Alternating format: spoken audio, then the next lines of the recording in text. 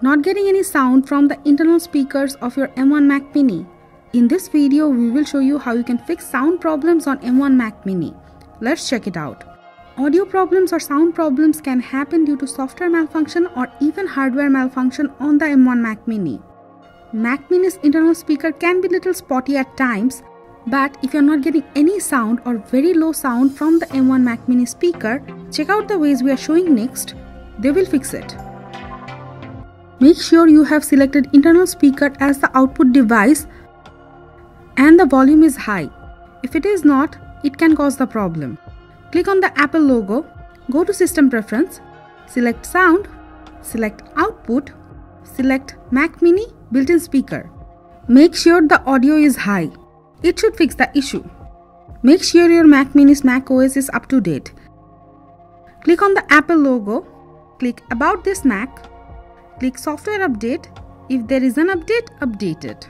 If it is not up to date, it can cause speaker problem. You can turn your M1 Mac mini in the safe mode. It should fix no audio problem. Click on the Apple logo on the top menu. Click shut down.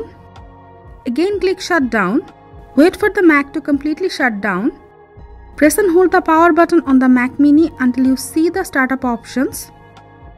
Select startup disk Press and hold the shift key. Click continue in safe mode. Now release the shift key. Your Mac will boot up in the safe mode. Check if the speaker is working or not. If it is, simply restart the Mac and it will go back to normal mode. If nothing else works, you need to erase and reset the M1 Mac Mini.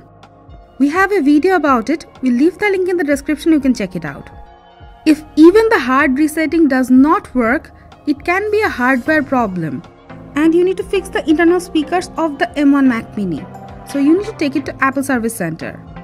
These are the ways you can fix sound problems on your M1 Mac Mini. Thanks for staying with us. If you have any query on the topic, let us know in the comment box and always stay with us for tips and tricks for Apple devices. Thank you.